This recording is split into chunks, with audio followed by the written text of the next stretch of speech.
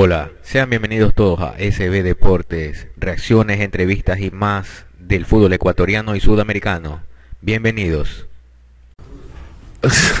Oito, mire que tranquilo, por la, se me imagino, por la, las coincidencias que da la vida, ¿no? Ayer estuvo aquí uno, el candidato ya oficial, dice que quiere ser presidente del Barcelona, don Rafael Verduga.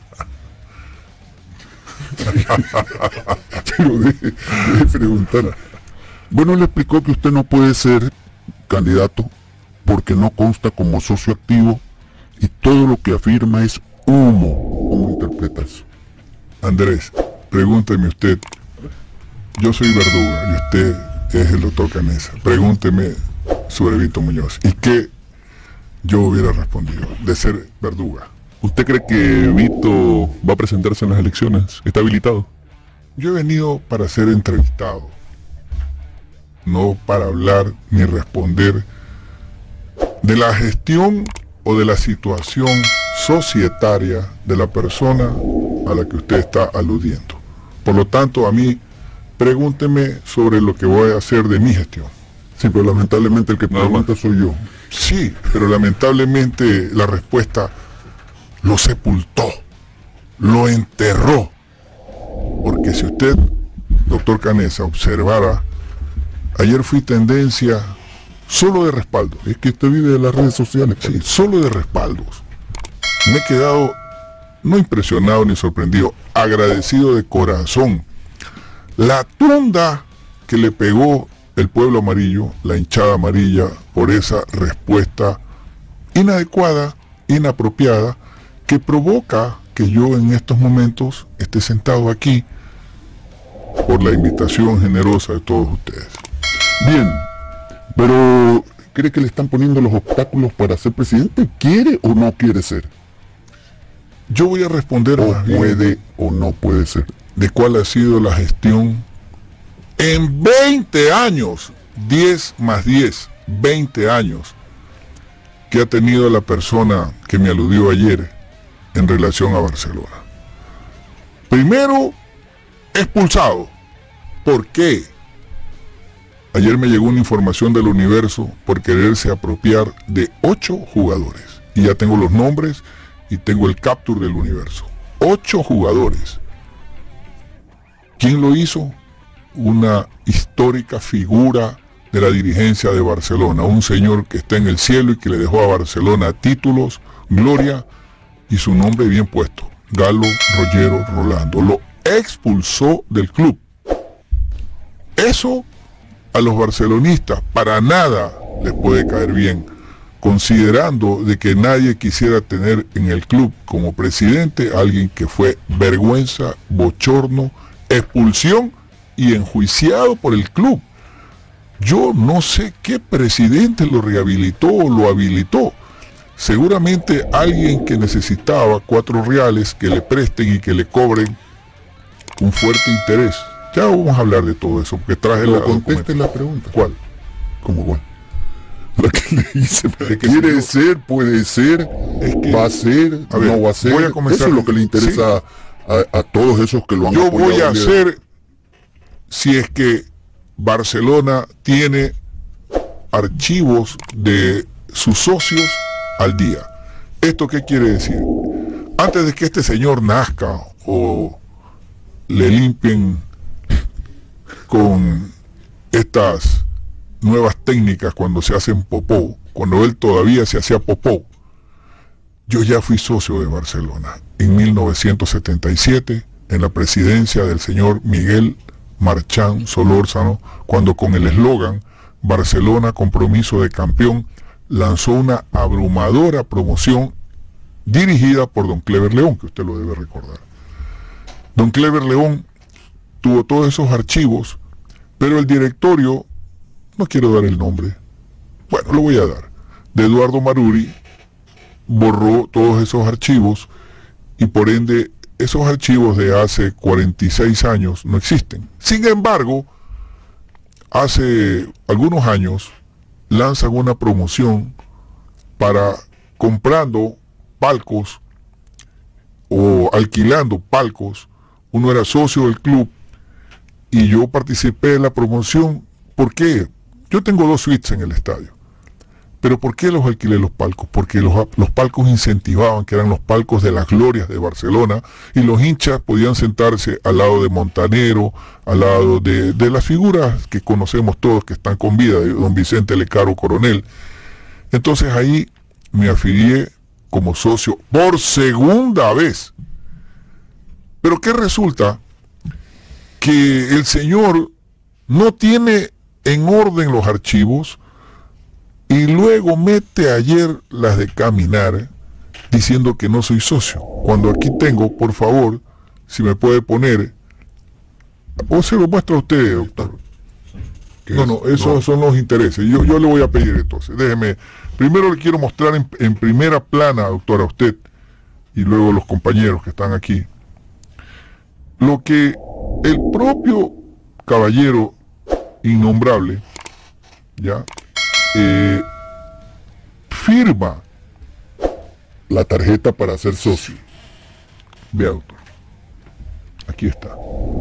Aquí no hemos venido ni para mentir ni para falsear, porque para eso yo no vengo y no me presto. Ya. Aquí está mi número de socio. 1281, dice, ¿no? No, lo va a ver aquí. Firmado por el propio miembro de la Comisión de Socios de Barcelona Sporting Club. Vea, usted lo puede mirar, usted lo puede ver. o muévala porque... Aquí está, Ah, sí, lo vi ayer. Ya. ¿Qué dice aquí? Vito Nelson Vicente Muñoz Ugarte. ¿Qué número de socio? Aquí está. 1895. ¿Quién firma acá abajo? Ya. Rafael Verduga dice. Por favor. pero, pero mm, él, él alega lo siguiente. Que usted no pagó las cuotas cuatro meses. No, no es cierto. Pero déjeme explicar lo que él dice, para que usted se defienda.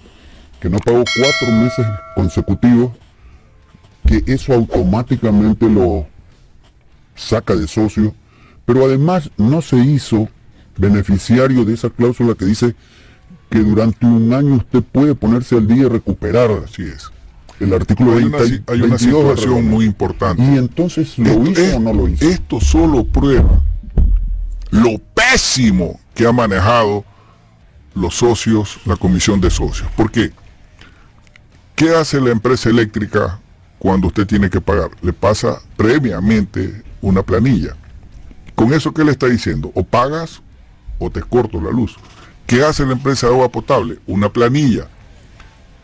Pero como esta comisión de socios está manejado de manera caprichosa e inexperta, nunca me reportaron, como sí lo hacen la comisión del estadio de dueños de suites, que a uno le mandan una notificación que si no se pone al día no puede entrar ni le van a las tarjetas.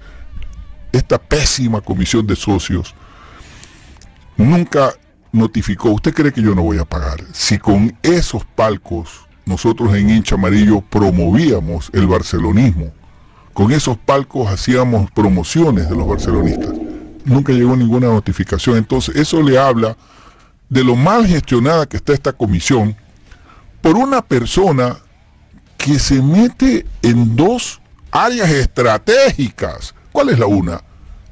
Manipulación de los socios, porque sabe que ahí está el poder para una elección.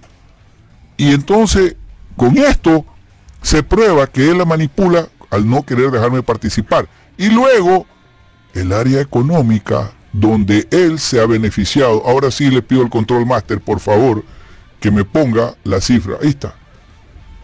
Operaciones del grupo Texcumar, que es la compañía del caballero. Año 2009, dos operaciones, 950 mil dólares, 58 mil dólares ya comenzó a ganar. El 2020, tres operaciones, financiamiento otorgado 850 mil dólares, gana 29 mil.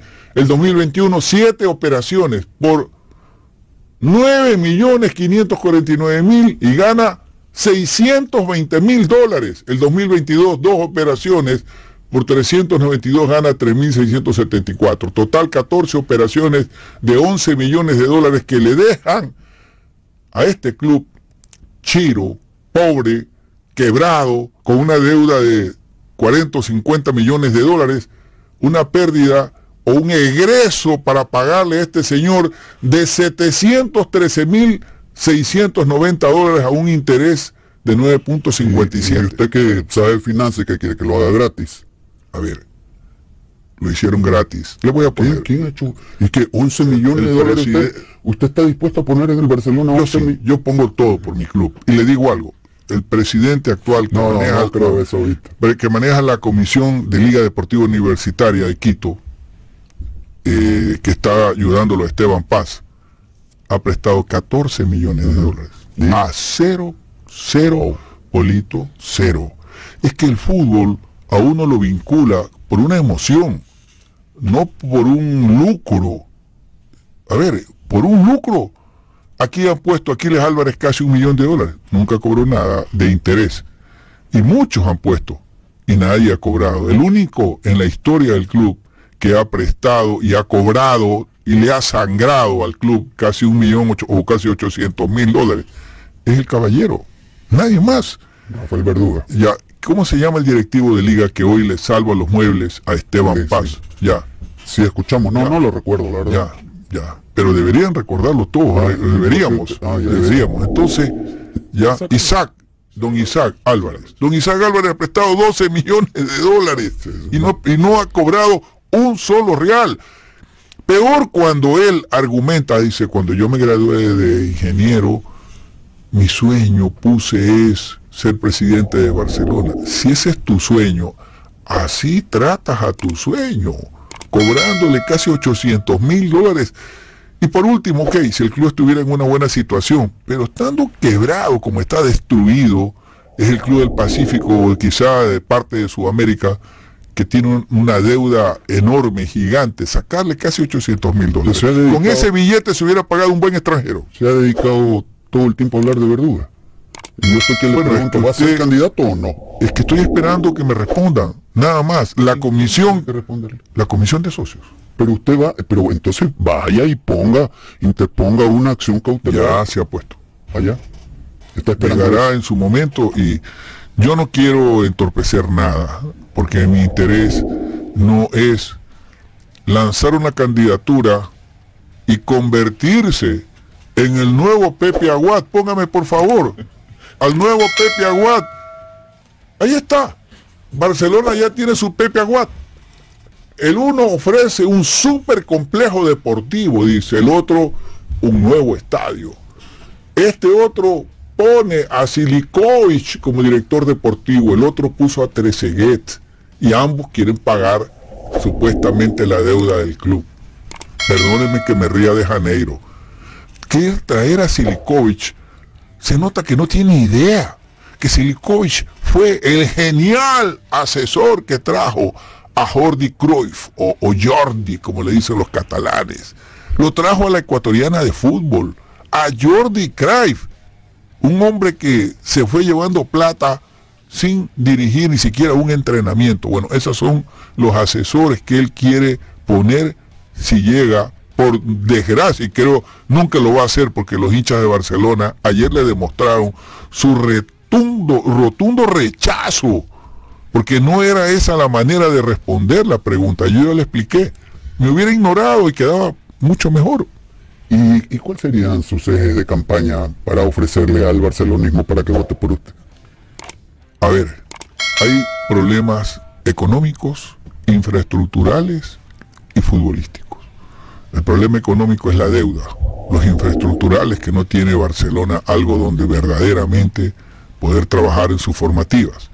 Y los deportivos que no ha logrado todavía volver por lo menos a llegar a una final de la Copa Libertadores de América. O sea, le habla un barcelonista que vivió junto a Isidro Romero la mejor etapa. O sea, a mí no me vas a enseñar ¿No ves que mientras tú estabas con aire acondicionado, yo estaba con Isidro recorriendo con sol, lluvia, lodo y barro y la obra? Claro, con Isidro, no se embarraba. Bueno, ahí tal vez, pero Isidro no. Bueno, ahí tiene que muchas veces fuimos a ver la construcción del estadio con el arquitecto Alfredo Gregor Delgado, con el, el ingeniero Barresueta, el mismo Ricardo Mórtola. O sea, tú llegaste a ese estadio a mesa puesta, pues loco.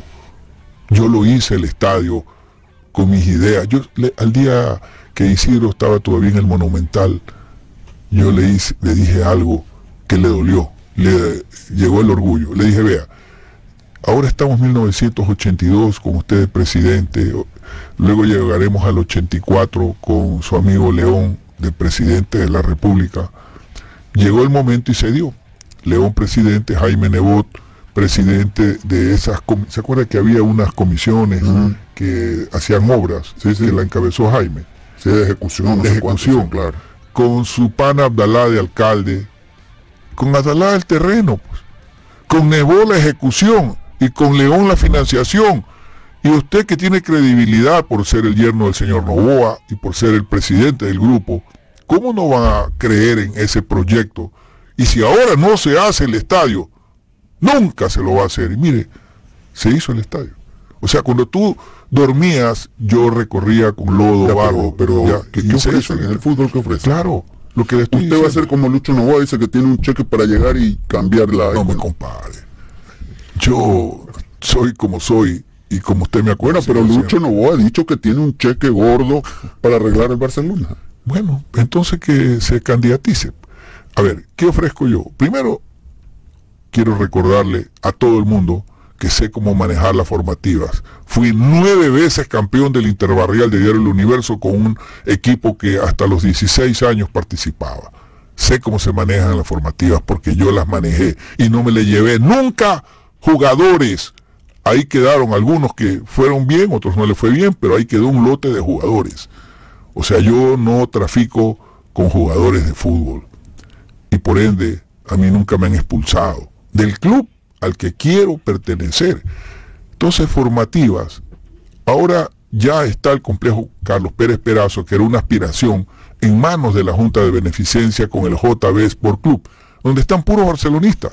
Está José Enrique Rivas, está Antonio Andreta, eh, el señor Juan Javier Cordobés y muchos barcelonistas. Firmaron un convenio. Ese va a ser el nuevo independiente del Valle del fútbol ecuatoriano. Tienen allí nueve canchas, que me dijo Alfaro, para que tú tengas un buen complejo deportivo, mínimo nueve canchas. Tienen nueve canchas, firmar un convenio y arrancar ahí con una convocatoria a nivel nacional de todas las provincias, llevando buenos scouts para que puedan recoger a los mejores talentos. Eso en la parte formativa. En la parte futbolística que le gusta a la gente, hablé con el representante del profesor Alfaro, Víctor Tuschneider, y me dijo el profesor Alfaro, sí le interesaría ir, pero ojalá paguen los impuestos de él. Porque si llega al Ecuador Alfaro sin que hayan pagado hasta ahora los impuestos, lo cogen preso. Entonces ahí, se, ¿qué se habla? El mismo que trajo al señor que hoy lo promueve como el director deportivo. Ya, lo dijo ayer. Ya, y ese señor, doctor Canesa, usted no sabe que él fue el que trajo a Jordi Cruyff. Sí, yo lo sé. entonces, ¿qué, ¿qué piensa? en contra de, de, todos esos exacto. Esa es la palabra, sátrapas. Y él quiere traerlo. Se ve que no conoce la historia. Y no la conoce porque él no es futbolero. Él quiere ser presidente de Barcelona por ego. O por hacer cumplir una ilusión. Derecho, pues, sí, todos tenemos derecho. Y, y más derecho y más... ¿Quiere ver las encuestas, por favor? Hecha por Barcelona. Póngame las encuestas hechas por las encuestas. Ahí está la No, no, esto es... La encuesta ahí está, ahí está, ahí está. Mire la paliza que le doy al mismo Alfaro Moreno, al, a ver, ¿a quién ha puesto? Aquiles, pero es que Aquiles... pero igual, y miren cuánto tiene el señor, que no lo quiero mencionar, no llega, a ver, ¿cuánto está? 981. No llega ni a 10, y peor con lo de ayer, ayer tiene que haber bajado a 3 o 4, porque él se buscó, ahí está. Esta es una encuesta hecha por Barcelona, que Barcelona. sí, Barcelona. ¿Cómo tiene acceso usted a ah, eso? Bueno, yo tengo amigos en todos lados, así como él tiene enemigos en todos lados. Entonces me hicieron llegar esta encuesta eh, que es de 500 muestras. Y está bien que sea de 500 muestras suficiente. ¿Por qué? Porque van a ser 2.000 los votantes, no más. Sí, exacto. Entonces, ahí está. ¿Qué más? Y, y es verdad, cuentan, que uno de los proponentes para que la sala de prensa lleve su nombre en el Barcelona es Rafael Verduga. No, jamás. Me lo dijeron ayer. Fue Carlos Alfaro Moreno, no fue la persona que usted menciona. Fue el directorio que él votó a favor, me lo dijeron. Y que él votó a favor y aplaudió cuando usted estuvo ahí en el acto. Bueno, Y se dieron un abrazo. imagínese, después de todo eso, que ayer salga a decir lo que dijo, estamos locos. pues. Estamos locos. Oiga, eh, Víctor, perdón, buenos días. Este, el estatuto dice que necesita tener cinco años Sí, de, así de, de socio de manera este, Continua. continua. Sí, ¿Los tiene o no los tiene? sí los tengo. Sí los tiene. según esta normita que habla de un tiempo que no se canceló porque nunca notificaron, Porque lo que marcan es que A ver, usted se me- pagó hasta el 2020, hasta el 2022, 23, de- 22. hasta diciembre de 2022 había chance de ponerse al día. Ya, yo le hago una pregunta. Usted que me conoce bien, ¿usted cree que si me notificaban que faltaba aquello, yo no hubiera ido enseguida o hubiera mandado a alguien a cubrir? Yo no voy a permitir que me bajen a cero mi antigüedad. Jamás. O sea, por culpa de las notificaciones, entonces usted dejó de pagar. Hay, nunca hay notificaciones y eso espero que al próximo miembro de la comisión de socios le sirva este caso para que notifique por un WhatsApp nomás, como notifican los buenos organizadores de pago de las suites que nos notifican. Estás atrasado un mes, dos meses, no es más de dos meses que nadie se atrasa, porque todo el mundo quiere ir a ver al equipo y que le den los, los pases plásticos. ¿Usted está de acuerdo con lo que dijo Rafael Verduga ayer, que quiere una reforma en, la, en los estatutos para que diga que eh, respondan por su patrimonio personal todos los presidentes que llevan a un- una crisis financiera al club? Eso me lo escuchó a mí. ¿Cuándo pues? A ver, A ver, no lo originalmente, pero- originalmente me convocaron, no puedo dar el nombre del empresario amigo, porque a él no le interesa figurar, a una reunión donde las, en las oficinas de este empresario amigo barcelonista a muerte. Y ahí yo le dije, tú paga o devuelve al club lo que recibiste de intereses. Porque por un lado se lleva jugadores y por otro lado se le lleva billetes. Ese quieren de presidente del club. Ese es el presidente que, que quiere ganar las elecciones. Esa es la pregunta. entonces está de acuerdo, usted la propuso. No la propuse, la, la, la copié de Mauricio, del señor Florentino Pérez. La copié, porque hay que ser honesto y decir quién fue el ideólogo Florentino Pérez. Él deposita, el que quiere ser presidente del Madrid tiene que depositar Garantía. unos avales bancarios por un monto determinado, con lo cual si le causa un daño al club, eh, un daño económico, se descuentan de los avales. Pi- Pilu quería Sí, preguntar. es que yo le quería preguntar, Vito, porque eh, todo esto aquí suena muy bonito, pero ¿Qué nada, todo lo que está diciendo de lo No, que quisiera lo que hacer, de lo que quisiera ofrecer. No, me parece que... ¿Dónde que- está lo imposible? No, no, por eso le digo, Yo todo ya, suena, re- yo ya todo me suena muy bien, con todo los suena señores muy de la bien. comisión de Está la bien. Junta de Beneficencia. Está bien, pero nada de eso va a servir si es que está en imposibilitado de ser candidato. Eso quisiera. Entonces, ¿qué es lo que está haciendo para demostrar que sí está pues, habilitado? Porque que diga que por WhatsApp no le notificaron, ellos dicen que sí, No. por WhatsApp, por correo electrónico, etcétera, y que no le notifiquen, no que lo está yendo a la y que no lo constitucional. exi- espera, y que no lo y que no lo notifiquen, no lo exime Bien. de la responsabilidad legal. Todos lo Yo no soy aquí. tonto para hacer público mi estrategia. No soy tonto. No, pero es que Y esto no peor se trata hablar. de estrategia, Es que no tengo por qué hacer público lo que yo estoy eh, planificando. Esto no se trata de estrategia, se trata de, de Eh, sí. preguntarle por qué no hace oficial entonces la candidatura. La estrategia vendrá después. que cómo voy a hacer oficial la candidatura si todavía, todavía se está peleando, se está eh, luchando porque se oficialice el ser socio. Una vez que se oficialice el ser socio, vendrá la Entonces a día de hoy candidatura. no puede ser candidato. Al día de hoy, no es que no puedo ser candidato, no han concluido las gestiones. No se sabe si podré o no ser candidato, no han concluido las gestiones. Eso, Gestiones de... de lo que usted mismo me está preguntando. Por eso, pero ¿cómo, cómo, contra, o sea, cómo cuestiones de qué en el sentido de que Pero, el, ver, estatuto, de el estatuto es clarísimo, el estatuto es clarísimo. un amparo, un amparo habló de Claro, eso. ok, un, un amparo, En su perfecto. momento se sabrá, y lo más rápido posible, dos cosas. Si puedo o no ser socios, ser socio y por ende ser candidato, y luego, si me niegan, porque ya ayer hubo un prevaricato, ayer ya alguien me descalificó, que fue hasta hace poquito presidente de la comisión de socios y que hace un tiempito firmó mi eh, mención societaria, mi, re- mi relación societaria. Cuando usted sí estaba al día, no ahora. En el padrón de ahora no aparece. Esto fue 2021. Andrés, Gavito, ¿cómo está?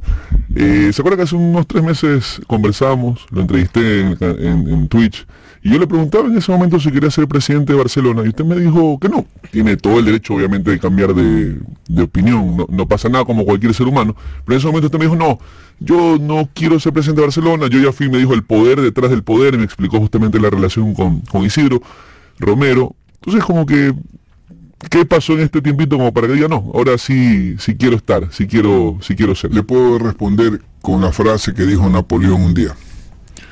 A mí nadie me puede obligar a pensar hoy como pensaba ayer. Perfecto, todo el mundo tiene derecho a cambiar de opinión. Respondido. No, no, de, de- de- de expresión. Porque hay cosas que uno se las guarda y no tiene por qué hacerlas públicas por cuestiones de estrategia. Eso es todo. Sí, ¿cómo está Vito? Muy buenos días. Pensando en su candidatura, cuando se solucione este problema que está diciendo, eh, el tema de Gustavo Silikovic y el director deportivo, estamos claros que aquí no le fue bien a él y que tampoco creo que sea la figura ideal para, para Barcelona. Así es, le fue ¿Cuál sería su figura, su director deportivo? O- y en este caso si tendría, si cree que es necesario tener director deportivo en Por Barcelona. supuesto, por supuesto. ¿Se acuerda el primero que renunció y se fue de, de la federación? Sí, ¿Quién? el señor, eh, el, el español, ¿no? No, no, no, no. Eh, Sí, bueno, el primero que salió en la era sí. de Gustavo Alfaro. ¿Se acuerda? Ah, ok. Ya. ¿Qué le pareció el trabajo de él?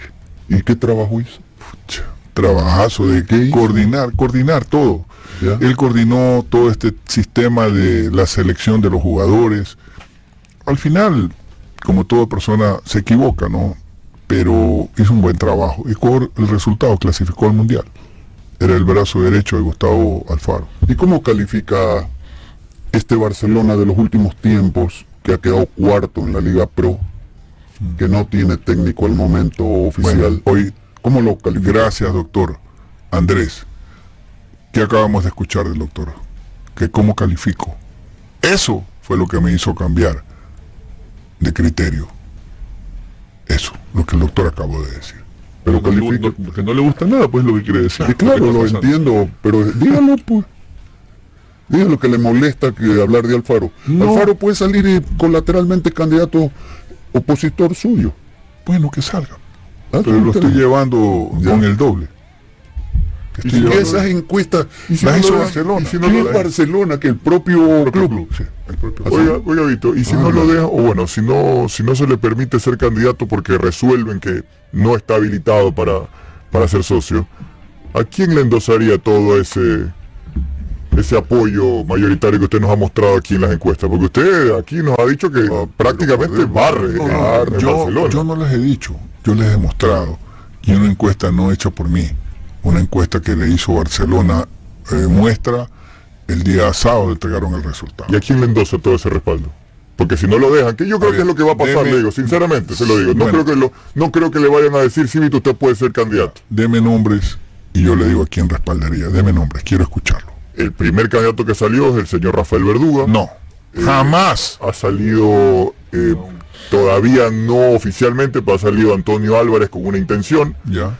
Eh, no sé, Conteste. No, pero es que estoy escuchando, ¿Y termino de oír los contestó de candidatos. Verduga? Es que no es más que de Verduga tengo, tengo determinado que él no es Ya. Y capacitado. Antonio Ya, Álvarez. Ya, ¿y cuál es el otro? el señor Luis Novoa ha dicho Luis que, Novoa. que- Luis que Novoa, tiene la pretensión de yo- ser candidato. Yo también. veo en el Luis Novoa una intención eh, se topa con un inconveniente que él vive en, en Miami, pero él tiene capacidad económica también para, para ser candidato. Muchos dicen que Luis Novoa, no, Luis Novoa es el nieto de don Luis Novoa, que está en mejor condición, porque, mire, eh, con él también hizo un préstamo importante a Barcelona, ¿ya? sin cobrar intereses. Luego no le pagaron y puso un juicio para poderse resarcir. Pero Luis Novoa tiene bien manejado su herencia, la ha multiplicado y perdóname Luis lo que voy a revelar.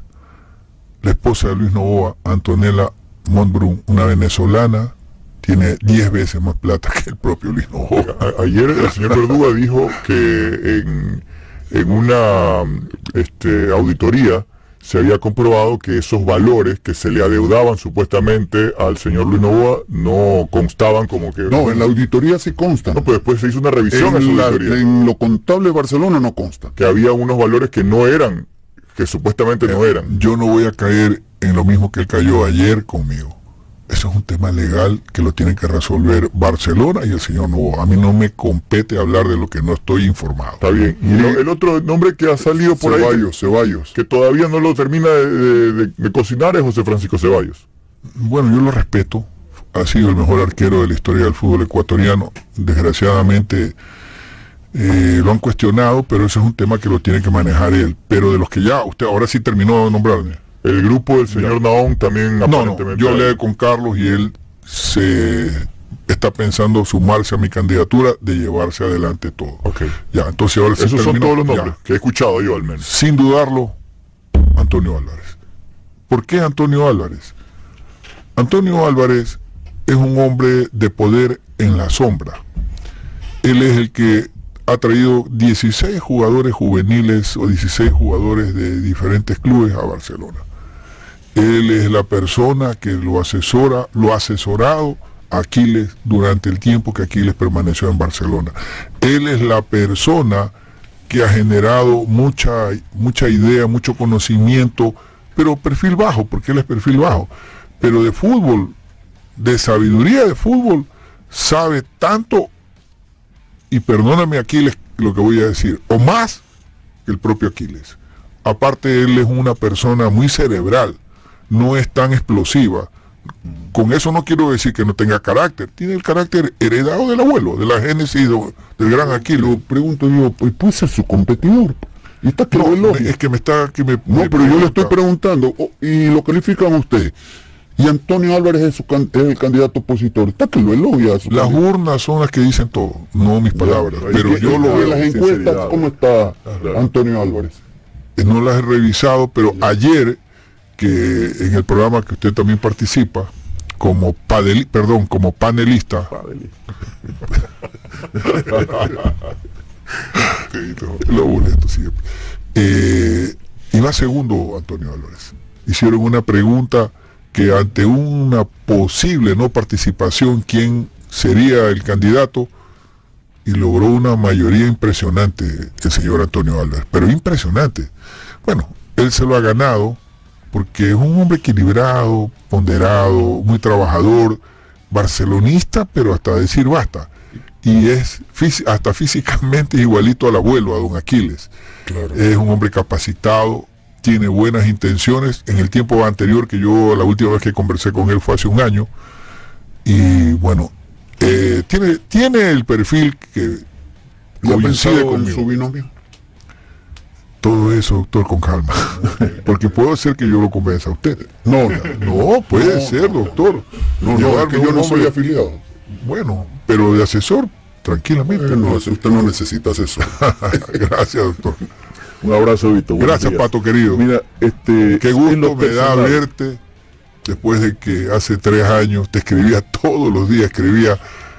Qué gusto me da verte. En un momento temí lo peor, pero Sí. gracias a Dios. arriba, Estás, pero. ¿quieres que te diga algo? Estás mejor que antes. Lo digo, se lo digo, todo, estoy mejor que antes. Estás mejor que Sí, antes, sí. Bueno, Benjamin Button. Decir algo. En lo personal, te estaba escuchando. Todo esto en función del señor Verduga. ¿Qué es que ha habido algo entre ustedes? O sea, ¿cómo Nada, ha sido el asunto? O sea, Nada. él A- desde ayer, ayer me abrió fuego cuando la respuesta de él debió haber sido una elegante que él salía ganador. yo no tengo por qué hablar de una persona que él sabrá cómo resuelvo su situación. Yo hablo de mis proyectos, yo hablo de mi plan. He venido para hablar de mi plan, no para hablar de otros presuntos o posibles candidatos. Quedaba como un príncipe. Pero se metió con una vehemencia. Mi curiosidad es que si ha habido un roce antes, no, no, ha habido nada, no ha habido absolutamente. Por eso me sorprendió esa respuesta. pero también la respuesta ayer parecería como que tienen algo. Claro, así es. Así es, Patricio. Vito, una, una, última para que le quede claro el barcelonismo. Si usted llegase primero a oficializar la candidatura, luego a ganar, traería entonces a Gabriel Weiner, porque es al que se refería, de director deportivo, y a Gustavo Alfaro como director técnico. Esa sería su fórmula. Lo confirma hoy. Sí, sí. A Gustavo Alfaro. Sí, él hablaba de Alfaro. Esa, anda mal. Esa es su promesa. no. Esa es su promesa para el primer equipo. A ver, y, le, voy a decir, y le voy a decir por qué. Barcelona, y usted lo sabe más que todos, siempre fue su estilo una férrea defensa, una defensa sólida un equipo que tiene que salir a jugar con una estructura defensiva, pero que sea un chaleco metálico. Quijano, Lecaro, Macías, Bustamante, Cárdenas, Pérez, Noriega, Saldivia. Seguimos en los siguientes años con Perlaza, De los Santos, Quiñones y Klinger. Seguimos en los siguientes años revisando que técnico defensivo entonces. No, un técnico que cumple el mismo concepto de la seguridad safety first, seguridad primero. Primero es que para tú poder salir al ataque, tienes que tener tu defensa férreamente armada. A mí me gusta el fútbol italiano. Y por eso espero que el doctor Canesa, de descendencia italiana, que celebró con buen vino cuando Gentile, Chirea, Colovati, Cabrini, Tardelli, Conti, Graciani, eh, Bétega, Rossi, ganaron el Mundial de España 82. Yo lo veía al doctor celebrando. Yo solo quería preguntarle pero, Entonces el, Gustavo el, el no pasa por eso. Esos gustos ahí exclusivos de, de ya tener listo al faro con ¿cómo que se llama? Gabriel Weiner. ¿Qué hicieron por Dios santo? Bueno, llevarnos, para llevarnos al cuarto mundial. No, pero es que ya Llevar ahora con escuchaba decir un técnico mundialista que ha estado en 3, 4 mundiales, esa es No, no, un técnico mundialista es Alfaro. pero te escuché decir como que había uno que tenía 2, 3 mundiales. Es, que, un plan es que esperemos, a, tranquilo, todos ustedes. Bueno, yo también soy igual, por eso los entiendo. Pero quiero respuesta. Y a Guido Carrillo lo escuché ayer nombrar también. ¿No le gusta Guido Carrillo? Me encanta, pero, pero no creo que sea tan fácil ficharlo. Bueno, si un buen Guido, Guido, Guido Carrillo, es un de la Plata. Claro, ya viene ahora a jugar con, con Barcelona. Y aquí vamos a conversar con mi buen amigo, que usted sabe que es mi buen amigo, la Bruja Verón. Sí, sí. Ya, ahí vamos a conversar, porque todavía tiene contrato hasta diciembre 31. ¿Cómo le iría a Guido Carrillo en Ecuador si va normalmente? Buen delantero. No tendría por qué irle mal. Exacto. Así es, doctor. ¿Qué más, doctor? No, este, tranquilo. aclare una cosa. Sí, doctor. me escribió que me había recomendado Hernán Torres para River Ecuador. Sí a través de Mario Tamayo. ¿Y qué pasó? Yo le escribí a Mario, es que no sé si él se lo transmitió o no. yo ni, ni idea. Sí, a Mario le escribí, porque él me dice, padrino, necesitamos un técnico que sea ganador, que por aquí, más allá, que trabaje con los jóvenes como es River. Le dije, sé el colombiano Hernán Torres, Mario, no lo dudes. Me dice, no, pero me están recomendando a ni se cuál. Mario, ese pan es ganador, Mario, por Dios, hazme caso, yo soy tu padrino, tu amigo. Yo no te voy a recomendar un técnico que no te lleve a donde tú aspiras. Hernán Torres. Mire, en el año 2010 falleció mi padre y Pocho creó la Copa Nelson Muñoz. Fue a jugar el Tolima a Machala con Barcelona. Sí, yo estuve ahí. lo conocí a Hernán Torres, conversé con él en el hotel Oro Verde y ahí me convencí que era un señor entrenador. Tanto es así que apenas sonó el nombre de Hernán Torres, lo llamo al economista Pilei y le digo, no dudes, no dudes, ándate por ahí. Sí, no es un técnico de paterno, paternos, paternoster que era 3-2-5 con Landazo, y Cruz Ávila y Mina, Bolaños y Cachito Magri, eh, Pineda a veces, y adelante Delgado Mena, Bolaños, Pulido, Merizaldi y Moscol. No, este es un técnico moderno con mucha personalidad, que tiene látigo y tiene caramelo. El que lo busca por el látigo le da, y el que lo busca y se porta bien, le da caramelo. O sea, es un técnico de primera. Me alegro ver que ya ganaron. Y que... No olvides suscribirte, activar la campanita, darle like y compartir para que estés al tanto de más videos del fútbol ecuatoriano y sudamericano. Hasta luego.